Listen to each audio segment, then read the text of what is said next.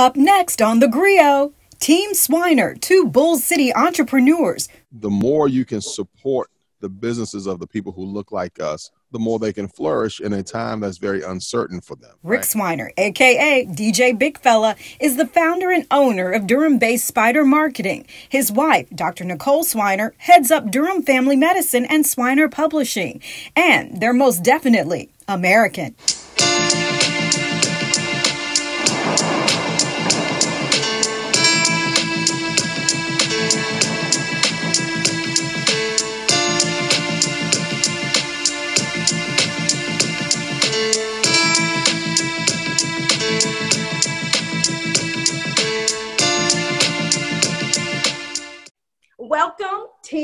Swiner. Oh my goodness. We have Ric Swiner, entrepreneur, former journalist extraordinaire, and then his wife, beautiful wife, Nicole, Dr. Nicole Swiner.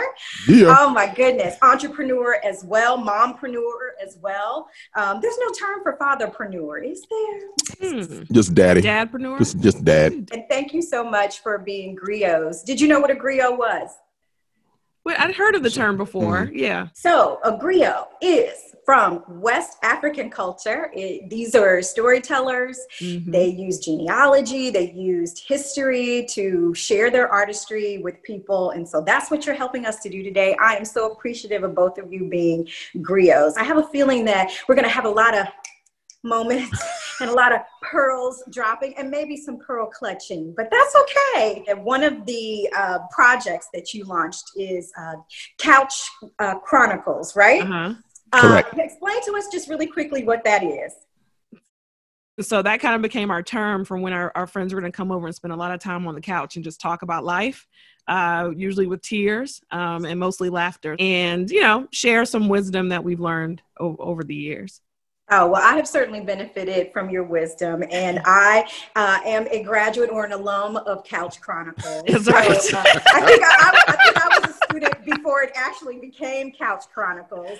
Uh, but, but nonetheless, I'll start with you, Ric. I mean, you know what it means to be a journalist. You know what it means to be in the field, to turn a story. It's not a glamorous business, um, you know. And then you turned your career into a creative project and you became an entrepreneur you're DJing, you have your own media company. Um, and when you see other Black entrepreneurs out there, you know, what are you telling them to keep them encouraged? Because sometimes that journey is a little different for them than others. It's tough. And um, that's a great question. I think one of the conversations that I have often is just staying with it. You know, I think it's very easy to get discouraged, especially when you're trying to chart your own course and you're not exactly sure the direction you want to go. But the key for me has always been just keep pushing. You know, you, you if there's something that you're really passionate about if, and you continue to do it, you'll figure out a way to make it successful down the road. So what I've done is basically taken the past 10 years and learned how to monetize all of my hobbies. That's all that my entrepreneurship has has been. You know, I enjoyed photography and video.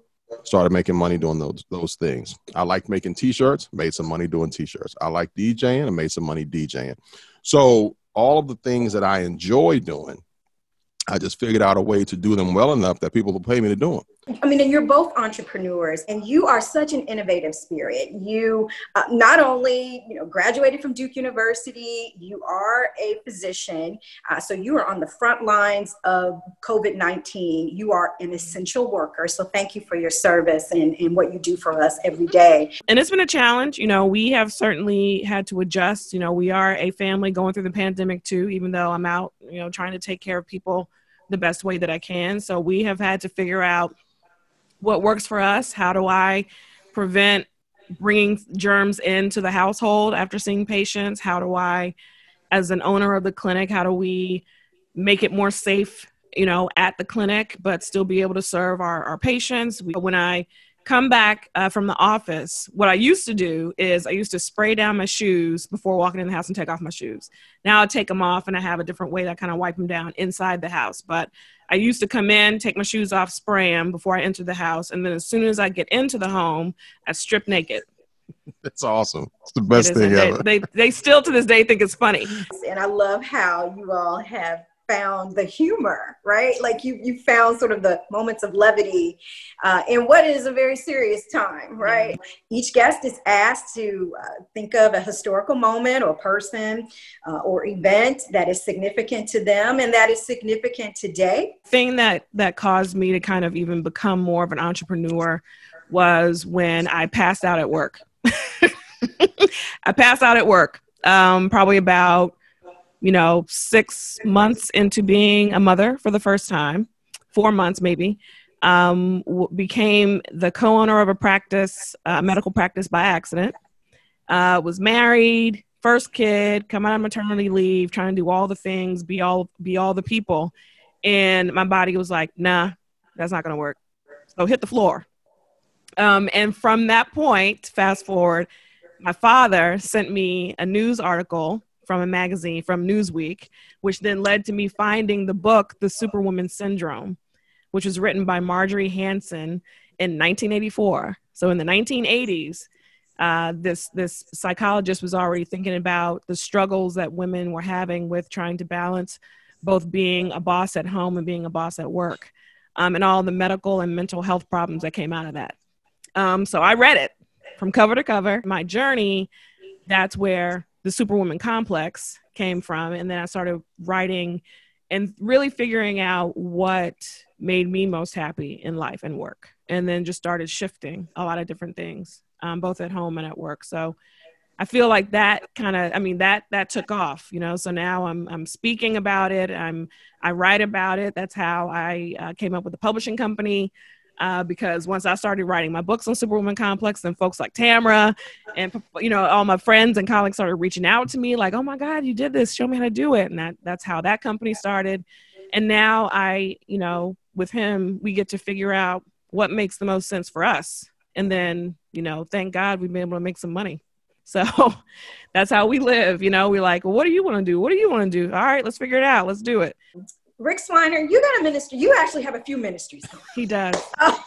is that right? he doesn't like to admit it. You know, tell tell me about your historical moment. One of them is one that you will be able to relate to. So my first historical moment was when uh, WLFL, where we used to work, decided they were going to close down the newsroom. I'd been in news at that point for nine years on air, 12 years total. I started off at NBC in Washington as a producer and desk desk editor and that kind of thing. So in 06, I said, well, you know what? They're shutting us down. And I'm going to transition from news into a whole different thing. And I moved into sales. So I stayed at the station, worked and worked in sales for four years. And the big thing about staying at the station and working in sales is Nicole sent me an email at the station after I left news. She had seen me on the news but we met prior to that. Yeah, we had met. I didn't want anybody to think that I like I saw him on TV and just stalked him. I mean, that's fine to think that. well, if you did, that was okay. We could have. And had I left the station to go elsewhere, I would have never gotten the email. But the, the the key to that as being a historical moment for me was being forced to make a decision about whether or not I'm going to stay in journalism. And I chose not to stay in journalism and to move into a whole different field. So I had a very successful career in sales, but that then piggybacks to the second historical moment, which was December 2009. Uh, we were in Charleston visiting her family for Christmas. We had just gotten married in May, seven months into our marriage. And we are in Charleston, and I've been having these episodes. My dad had just passed in November, been having these episodes where I wasn't feeling great. Intake nurse takes my blood pressure. It's 250 over 160. I'm on the verge of having a stroke the, the day after Christmas 2009 because I'm making all this great money in sales, killing it, but the job was also killing me. Got back to work that Monday, put my two weeks notice in, and walked away from a six figure job. Yeah. In with without question, because as a newlywed, didn't even have kids yet. I knew that the idea of me staying in this job was going to kill me. Um, what are your takeaways from folks? Because you both had you know, a scary wake up calls in a way. I want to shout out my soror, Cheryl Woods Giscombe, who is kind of, she's kind of the guru when it comes to the Black Superwoman schema. Um, so she's done a lot of research on it. Uh, she's a PhD, she's a doctor. And um, so I want to shout her out because she's also done a lot of good research on this thing. But I think it's, you know, that self care comes first. You have to put yourself first because taking care of everyone else and neglecting yourself literally can kill you. Um, and you can be happy. You can ask for help. You can, you know, you don't have to do all this alone. Um, if finding something, and you know, probably piggybacks on what he's going to say, but if hopefully you can find something that both makes you happy and you can make money out of it. Um, so you don't have to chase chase the almighty dollar until you know you have no more time for yourself. I mean, just it doesn't make sense. So you, but you, it, it usually takes you hitting that rock bottom moment for you to figure that out. But I'm what I'm hoping people will do more more often is try to get ahead of that. Action steps for people. I know Nicole said take more naps. I think I might schedule one today. Nap queen. Hashtag nap queen. Yeah, she is the. And nap I'm looking queen. at the clock now. I'm like, am I gonna have time for a nap? Yeah. Let me tell you something. I'm already looking. She has perfected the art of the nap. It's amazing. I'm okay with that. She's like, I'll be back. I'm like, no, you won't. Three hours later, it's like, ah, that was good. But um, so my takeaways are very simple. Uh, it's a twofold takeaway that matches each moment, right? So the first one is you can't be afraid to pivot, and which we said, and that's why this year has been so important because this year is the manifestation of the pivot back in 2006 Yeah. and then the next pivot in 2010 you can't live fearful you have to live smart and it's okay to have a healthy concern about this thing that we're doing but you have to also know that there is a way forward um, and you've got to part of the work is figuring out what that way is but you, you've got to be willing to step outside of the comfort zone to see if you can find something else that will help you grow. You know like, as you mentioned earlier i started djing about two and a half years ago. January 2018 was my first gig but so the dj thing became it's, become more of a brand and more of a thing that i've been able to do. And it's evolved into a lot more in the way of opportunity and making money and whatever. But the trick is back in march once they started shutting everything down i'd only been djing at that point for two years. And because i wasn't so locked into an idea about what it means to dj i started doing a bunch of virtual sets. Because you know i was like well i can plug this thing into here and i can plug this thing into here and i can stream it through here and then we've got a set online. And i've been doing it every week for just about every week for the past six months. And it's turned into a very lucrative way. I'm doing virtual parties and clients can reach out and say hey man we we need somebody. Yeah we did a wedding. We've, I've done a wedding, a couple of birthday parties, um, did an event for UNC TV where we did like a live stream over their PBS um, website and all this stuff. But so using the, again, learning how to pivot, taking the circumstances you have and figuring out, out a way to still be profitable within those circumstances. We have to stop being so fearful and so complacent um, because this time is showing us that fear and complacency can ruin you. You got to be able to go forward. You got to push. I knew you were going to give us plenty of pearls. It's the wine. It's the, The- wine. The last thing I will the say also is in this world of figuring out what you want to do and entrepreneurship, et cetera, taking care of yourself, is finding that partner that supports you doing those things. We see businesses shuttering their doors for good because the pandemic has just been too much. The beauty about the hustle that we have is a lot of us are running businesses right out of our own homes. We don't have a lot of overhead, but we still need the support. So if I'm buying some shea butter, like um, one of my classmates, Buttered by Kenya, is sending some shea butter, um, the body butters that she's making. Um, so I order something because I'm using for my beard, right? See what happens. She said they're going to smell great. You'll love them. I said, all right, cool. I'll order them. But that's the kind of way that we can continue to support other people who look like us. The more you can support the businesses of the people who look like us, the more they can flourish in a time that's very uncertain for them, right? And in the fall of every year i would normally be doing a swiner publishing writers retreat where i teach folks from start to finish how to DIY, diy your own published book how to take that book and become an entrepreneur how to market it on social media and all that good stuff become a bestseller but on october the 10th we're going to be doing it virtually so october the 10th from 10 a.m to 3 p.m eastern standard time Uh, we're going to be doing a virtual retreat with three wonderful speakers. You're going to learn how to publish your book. You're going to learn how to market it. You're going to learn how to do your makeup. I have a makeup artist who's going to show you how to do stuff at home during this pandemic, and it's going to be on Hopin, which is um, a good uh, conference uh, vehicle that you can use on online. And so it's going to be great. I think. And if nothing else, you're going to see me and I'm going to teach you how to do things on your own. Maybe DJ Big Fella will uh, make an appearance. Is that right? During the writing time, maybe. Well, that's my birthday weekend, so we'll see. Yeah, maybe. Nah, Where are you going? I ain't going nowhere. Okay. There. So- I'm not kidding.